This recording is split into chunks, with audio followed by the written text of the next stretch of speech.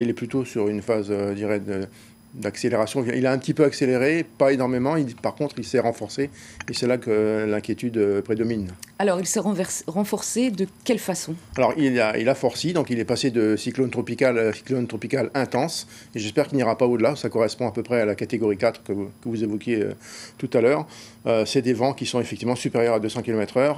Constant, vent constant. Voilà, et avec, auxquels s'ajouteront la vitesse elle-même du cyclone, puisqu'on va prendre de l'ouest et donc ça, tout ceci va s'additionner pour donner des, points de vent qui euh, pourront atteindre certains records, je pense, dans plusieurs vallées. 270 km/h, dit-on? Ça pourrait. Euh, le niveau de l'eau également va monter? Alors on aura un effet combiné du creux dépressionnaire, euh, la marée et cette houle qui va être créée par l'événement. Et donc on aurait des survagues, et des, vagues importantes qui vont certainement créer des risques de submersion.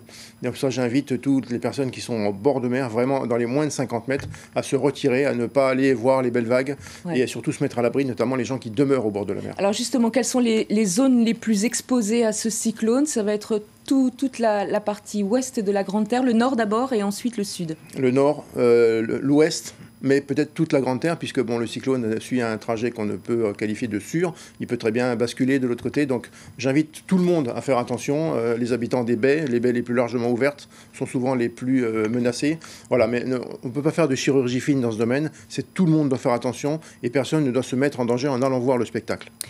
où en êtes-vous des préparatifs? Vous êtes sur les pieds de guerre? Alors effectivement, on a, préparé nos troupes, non pas pour intervenir pendant le cyclone, puisque ça ne sert à rien, sauf pour les vraies urgences. On se tient plutôt prêt à intervenir après pour rétablir rapidement la circulation, l'accès des secours, et c'est là que nous serons euh, le plus euh, rapides et les plus efficaces pour retourner à une vie normale.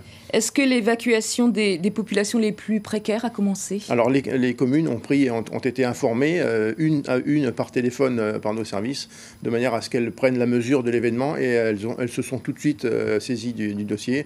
Des évacuations sont en cours. Chaque commune connaît parfaitement son territoire. Je fais confiance aux élus municipaux pour prendre les bonnes décisions et surtout bien connaître les populations les plus à risque. Combien d'hommes sur le terrain? Pour l'instant, aucun en ce qui concerne les secours.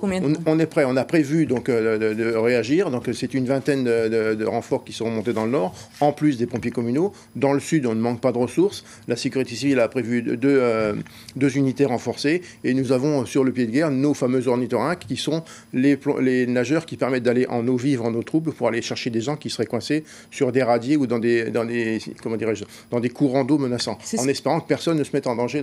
C'est ce que vous craignez le plus, des imprudences? Des imprudences des, circonstances parfois malheureuses, un, radier qui, déborde rapidement, une voiture coincée, des gens euh, qui pourraient être euh, euh, coincés dans leur véhicule. Donc c'est pour ça que l'alerte 2 est déclenchée le plus tôt possible, de manière à ce que les gens ne se mettent pas en situation de danger. À partir de demain, 6 heures dans une grande partie du nord de la Grande Terre, et puis 8 heures, et les îles, et puis 8 heures dans le sud, on ne sort plus.